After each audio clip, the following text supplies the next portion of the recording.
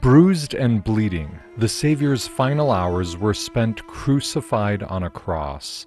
Although racked with excruciating pain, he made seven significant statements as the last words of his mortal ministry.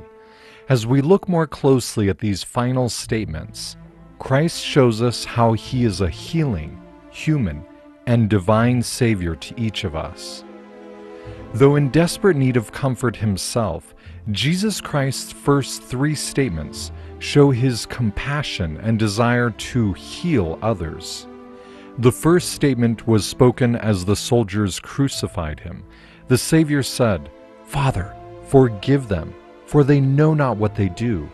Amazingly, the Savior generously pleaded for mercy for those who were in the very act of crucifying him. He is showing by example what he taught during the Sermon on the Mount that we should love our enemies and pray for them which despitefully use you and persecute you. Christ is teaching us how we should be willing to extend forgiveness and mercy, even when it is not merited, asked for, or acknowledged. The Savior's second statement also displays tender compassion for others, even while he himself suffers. As Christ hung between two thieves, one of them taunted him by saying, If thou be the Christ, save thyself and us. But the other man rebuked him by saying that they both were getting what they deserved. At this point, this penitent thief then pleads with the Savior Lord, remember me when thou comest into thy kingdom. These words, spoken by a convicted criminal, are the final recorded words addressed to the Savior before his death. His plea captures a special intimacy, as he is the only person recorded in the Gospels as asking Christ to remember him. Others might easily see this thief as worthless or beyond redemption, yet in his response to the man hanging beside him, Jesus shows us what he truly thinks of the human race. The Savior makes the second statement by saying, Verily I say unto thee, Today shalt thou be with me in paradise. Can you imagine the reunion when Jesus and this man see each other after they have died? Christ would personally minister to him and teach him that very day. According to Luke, Jesus began his public ministry at a synagogue in Nazareth, stating that he would proclaim liberty to the captives and the opening of the prison to them that are bound. How appropriate that he ends his mortal ministry by proclaiming freedom to one who is physically bound on a cross and spiritually bound by sin. Like this thief who hung beside Christ, we too can be freed from our own bondage and sins because of a healing and merciful Savior.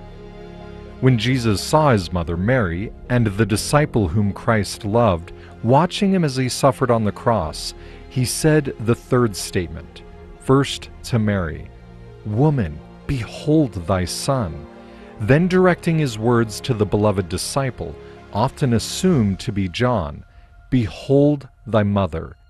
Even in his greatest agony, the Savior focuses on the needs of his mother he is showing by example how to obey the commandment he gave to honor thy father and thy mother. In John, the first miracle Christ performed was at the request of his mother by turning water into wine. Here again, Christ lovingly attends to her needs, even in his moment of greatest need. He inspires us to look outward, even when we are suffering the Savior demonstrated his healing power by forgiving the soldiers, comforting the thief, and honoring his mother. Just as Jesus met them where they were, he will also meet us where we are, even those who make serious mistakes. No one is beyond the reach of the Savior's healing love. In the next two statements, we are reminded that though his Father was our immortal God, Jesus was born of a mortal woman. In agony on the cross, he shows us his humanity through his suffering. As Christ experiences the effects of shock, due to the loss of blood, with parched and shriveled lips, he cries out his fourth statement I thirst. During his mortal ministry, Christ said to the Samaritan woman at the well, But whosoever drinketh of the water that I shall give him shall never thirst, but the water that I shall give him shall be in him a well of water, springing up into everlasting life. What a powerful testament that he truly bears all of our pains as our Savior. Christ thirsted so that we can drink the cool, refreshing water that he himself so desperately needed. As the living water, he strengthens us in our own challenges. As the time of his death approached, Jesus cried out with a loud voice, My God, my God, why hast thou forsaken me? making his fifth statement. In his moment of greatest distress, Christ is left to bear the full brunt of the sins of the world without the accompanying help of his Father. During his ministry, he told those who loved him, I will not leave you comfortless. I will come to you. Even in his final painful hours, he has sought to forgive, comfort, and honor those around him. And now he is the one in need of comfort. For even his Father has left him to suffer these pains alone. In this statement, we more fully see a human Savior who is suffering. In our pain, we can connect with Christ, for he knows how to heal our pain perfectly. As the end of the Savior's life nears, we become acquainted with his divinity in his final two statements. Despite intense suffering, as the Son of God, he retains power over all things and completes his atoning sacrifice. In great agony, Christ makes his sixth statement It is finished.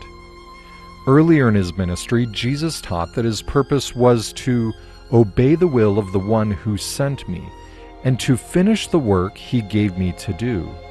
In spite of earth and hell combining against him, thirsty, forsaken, and in agonizing pain, Christ has indeed completed the work his Father had sent him to accomplish. We can be confident that even when our lives spin out of control, Christ is completely in control. He is always at the helm. Finally, moments before Jesus ended his mortal ministry on earth, he cried, Father, into thy hands I commend my spirit.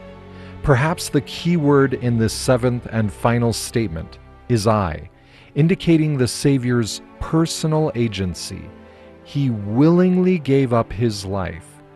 Note also the Savior intimately addresses God as Father.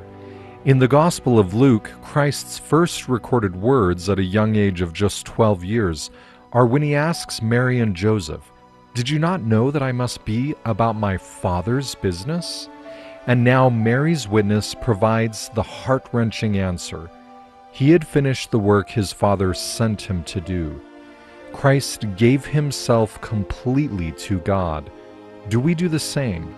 Are we willing to allow our will to be completely swallowed up in the will of the Father? Reflecting on these seven statements Jesus said from the cross, we can see Christ as a healing Savior who extends mercy and comfort even in his own agony. We see Christ as a human Savior who can relate to our anguish and our suffering. He is a divine Savior, able to help us in every circumstance because He is all powerful.